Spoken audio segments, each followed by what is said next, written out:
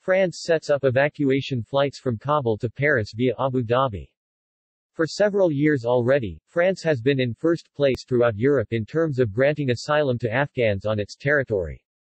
France sets up air bridge to evacuate people from Afghanistan. French evacuation flight to fly from Kabul to Paris through Abu Dhabi.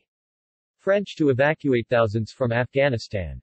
French Secretary of State for European Affairs Clement Beaune said today that France is establishing an air bridge to evacuate thousands of people from Kabul, Afghanistan to Paris.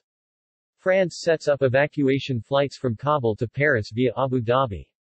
Currently, in order to provide evacuation, France is creating an air bridge between Kabul and Paris with planes that will fly through Abu Dhabi, Beaune said.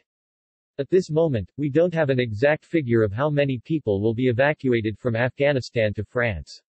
In any case, it is clear that we are talking about several thousand people in need of protection, he added. The Secretary of State said that France had begun evacuating Afghans back in May in order to protect 600 people who worked for it.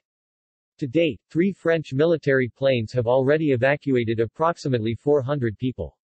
These are mostly Afghans who need urgent protection.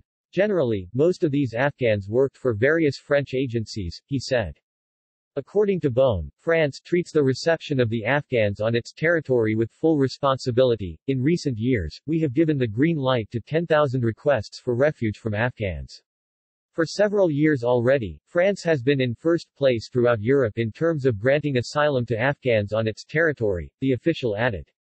We will continue this practice. No quantitative restrictions exist in this sphere. The practice of receiving the Afghans on French soil will also continue after the air bridge with this country ceases to exist, the Secretary of State assured.